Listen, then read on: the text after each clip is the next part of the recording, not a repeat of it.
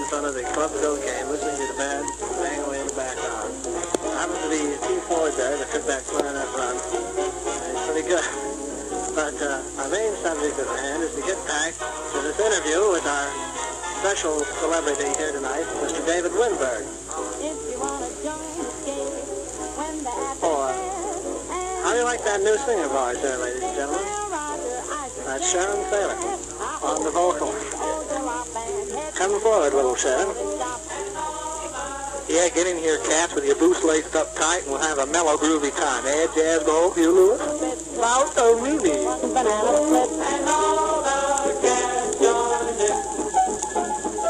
Now drop your jack in the old jukebox and play your favorite dip. Oh, uh, how are you feeling now, Dave? Good. Hungry. Hungry? yes, he, he seems to have latched onto a piece of cake here. After three hours at this joint, the waiter finally got here. Well, I'm sorry about our service, but uh, looks pretty good, huh? Get away from that place. oh, boy.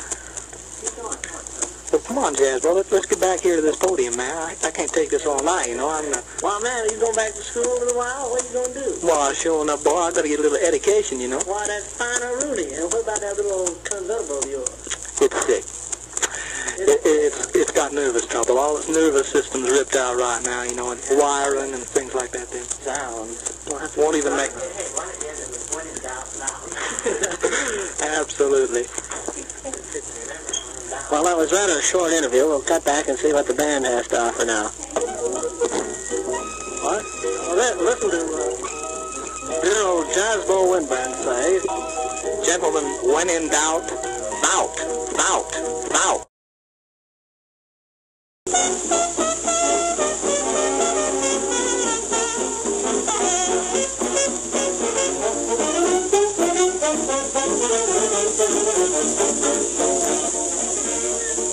Well, here we are back again at the old Club Cocaine on 3rd Avenue. You can hear the boys in the band making forth in the background. Tonight we have with us a very special celebrity, one who hasn't been here for quite some time. Our old friend, David Lindberg. Now, will you come over here to the podium, Dave? Hi! All right, we'll come to Dave. Speak. Thanks, Malcolm, for coming to Wolverhampton. pigeon. May we have that again? Don't give me any of your remarks.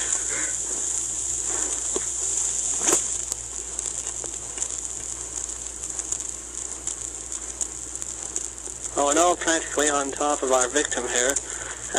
Great celebrity. Get your foot off my neck. Hey, you fat as a stash. That's the way we like to hear him talk. Well, uh, Mr. Winburn, tell me, I understand you had an accident. Is that correct? No, Oh. Well, uh, must have been a rumor. this was premeditated. Premeditated. Then uh, you wouldn't call it an accident. No, Uh, what would you call it? getting out of school. Oh, a racketeer, huh? And uh, what are your plans for the future? Gad, what a personal question. Go away, man. I meant about the club. Gad, what kind of a person are you? Me? Yeah. That is too personal. Go away. Ah, recording? Your record. Damn record's worth 45 cents and you're going to record. I'll pay you to break it up. What a madman. Speak.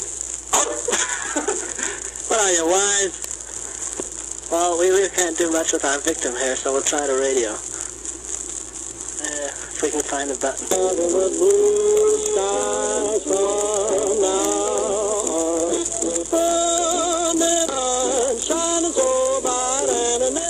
That's our crooner, Dick Holmgren, singing with the orchestra.